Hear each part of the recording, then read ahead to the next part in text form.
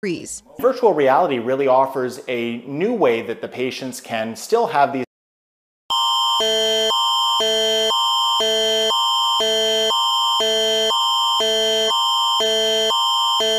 Amber Alert for Regina Police Service. Victim is two-year-old Holdan Keewatin, 3 feet tall, 30 to 35 pounds with short black hair. Last seen wearing a black and white horizontal striped outfit.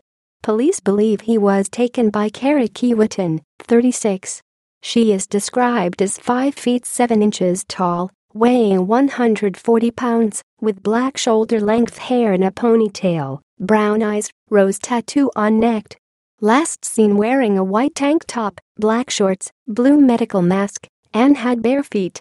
Suspect was last seen on foot in Regina in the area of the Regina General Hospital.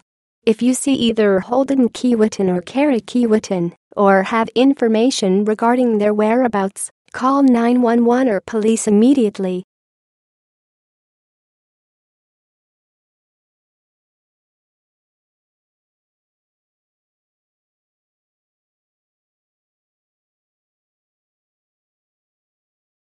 help us.